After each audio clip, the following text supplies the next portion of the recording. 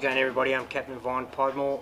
This fly that I'm going to be tying today is the yak hair pattern. I'll primarily fish this fly Catalina Island and offshore. It's a sardine looking pattern. It's tied out of yak hair, uh, tied very sparsely, make the eyes a little bigger. Uh, granted that we are fishing for predatorial fish, they focus in on the head and those big eyes. I'm using a Gamakatsu CS17 uh, tarpon hook. It's very important that you use a heavier weight hook and what that does is it acts as a keel so that fly rides true. Um, given this fly is not really a flashy fly, it mimics more of the real thing. Um, and it's once again it's important you use a heavier hook and that fly rides true if you're throwing at tunas uh, or yellowtail with this fly and the fly starts rolling on itself, they're going to turn away. So at the same time, given that everything's tied above the hook, you can tweak that head to get it to ride straight. I mean, you never know till you put the fly in the water. Okay, we're first going to start off, granted everything's going to be tied on top of the hook, so we want everything tied real close. Start off with the thread by the eye of the hook, run it back, to about mid shank. Now this is a real short shank hook, real strong.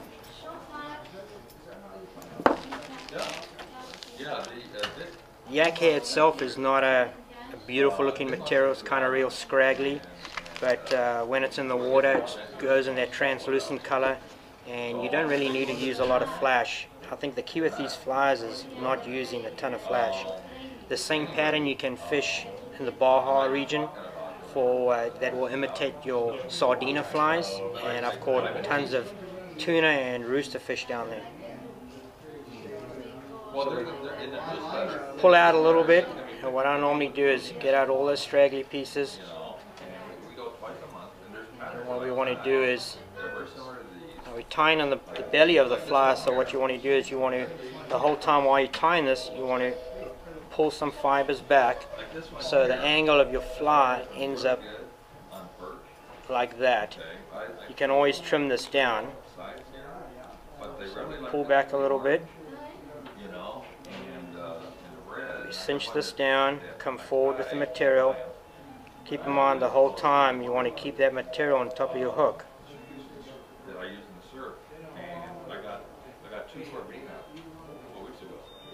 Back a little more. This material you fold back over the wing. And pretty much now we've established the belly and the fly.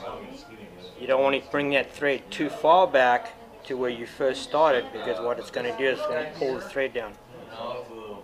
We get our scissors and when you cut you don't want to make a straight cut. You want to just stagger it up. Okay. So now we've got a, the belly of the fly. Our next step is what we're going to put in is some root beer crystal flash, very important. And this is going to be the lateral line on the sardine pattern. So probably about eight strands of crystal flash. Lay it down on the top.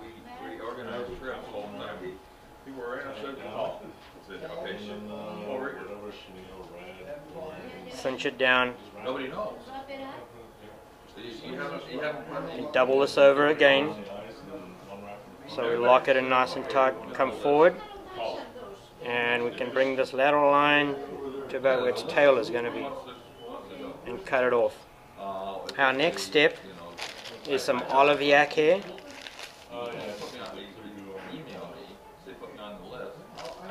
A little secret I'll tell everyone. This color, 9 out of 10 times you're not going to find on the fly shops. You will find it in a green color.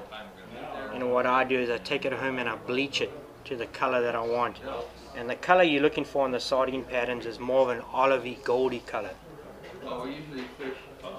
So pull off some yak hair. Like I said earlier on, kind of messy material, but when it's in the water it really comes to life. Cut a little section off.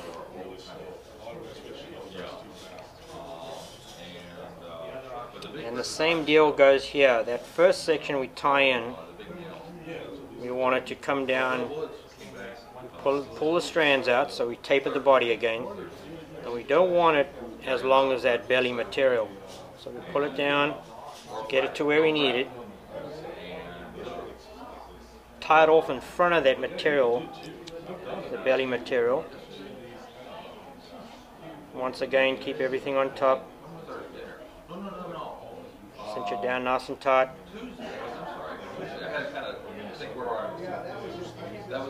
Bring this material over the top.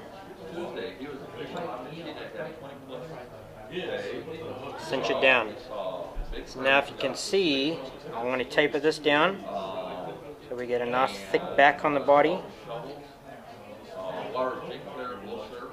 And you can play around with the stuff to where you think that it, it's going to look its best.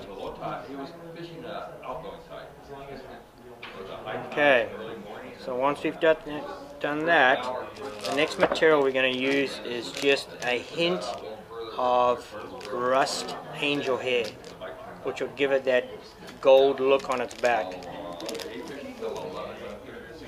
Pull out a little bit of rust angel hair. Is a rusty olive, by the way. Put a little pinch on its head. Make a few turns. Cinch it down. Come forward with the thread.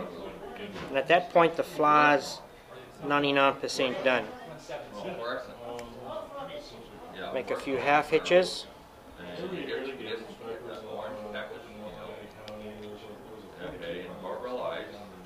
Okay. Some as nail head cement. Now what really pops on this fly is when you put the eyes on.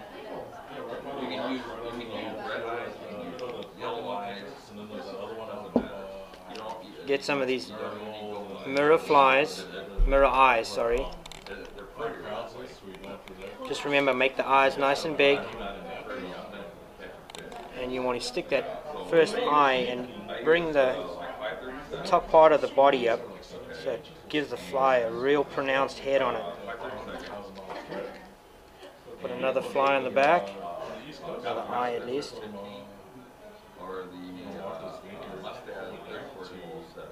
We got one more step, and that there's a black sharpie. Now, if you guys ever pick up a live, real lively sardine from the bait barge or see one in the ocean, along its lateral line, he has these little bit black spots, and those are its sensor spots, so he can sense what's around, what's around him. And get your sharpie, and you make these little black spots along the lateral line. And that's key too, if you want to mimic the real thing. We go on this side and we make the same little dots.